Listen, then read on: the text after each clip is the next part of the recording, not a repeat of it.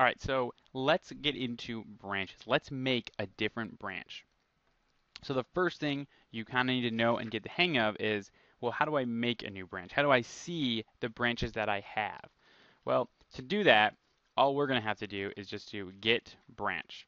So it's going to say master, and that little star is by it because that's the current branch that we are on.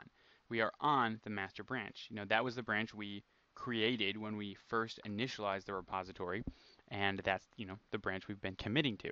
So let's also just take a quick look at dot git slash head. So our head, remember, remember that command showed us where the head is, and it's at refs heads master. Let's go ahead and look at that then. Um, dot git slash ref slash heads.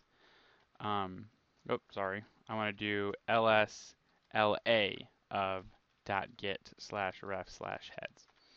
So this is where it contains all the heads, and you see our master branch is right there. That's where the current head of our master branch would be pointed to.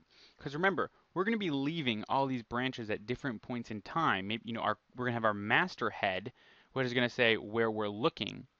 But we also want to have a, branch, uh, a head that points to where we last left off.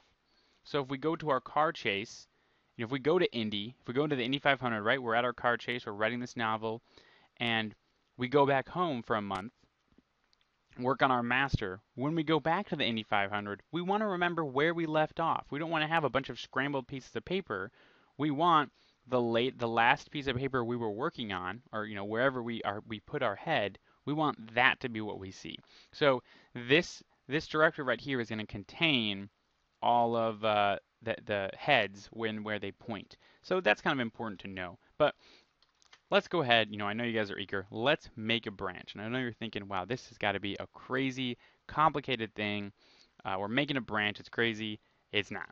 All we're going to do is git branch, let's call it car. You just made a branch. That easy. I know. You're thinking, Joe, what are you talking about? Now, if we look at git branch, we'll see there's two branches now. We have the master and the car branch. Remember, that dot, that little star, that asterisk points to what branch we are on. We're not on the car branch we're on the master branch. Now, if we look at our previous, um, I'm just going to use the up arrow to toggle back a few commands. Now we're going to see there's a car and a master branch. There's two heads here. So they're going to point to when we're on this branch, here's where we should be pointing, and when we're on this branch, here's what we should be pointing. We left off at different places. Because remember too, the SHA keys between these two branches are going to be different. So each of these are going to contain a different SHA key that points to the head of that branch where we last left off. But in the meantime, get excited. You just made your first branch. Next, we're going to go into kind of switching around and maneuvering between these branches so you can start actually adding files.